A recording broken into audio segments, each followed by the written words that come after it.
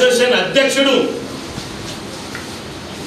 ఈ భవనాన్ని కూల్చివేతలు ప్రధాన ముద్దాయి అని చెప్పేసి ఈ సందర్భంగా నేను నిర్దాక్షిణ్యంగా చెప్తా ఉన్నాను వాస్తవంగా చెప్తా ఉన్నాను.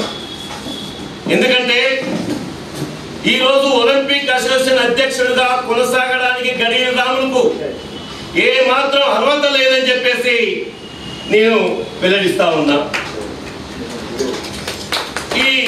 గత కాంగ్రెస్ ప్రభుత్వం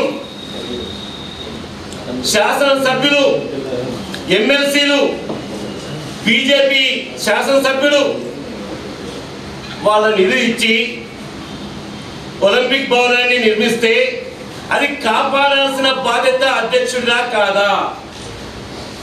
ఒకవేళ అది అక్రమంగానే అది ప్రభుత్వ స్థలం కాకపోయినా నిర్మించిన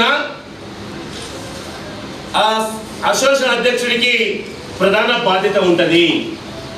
ఆ బాధ్యతని నెరవేర్చకుండా ఈ ఆస్తిని కొల్లగొట్టడానికి ప్రయత్నం చేసిన అంచనుల్ని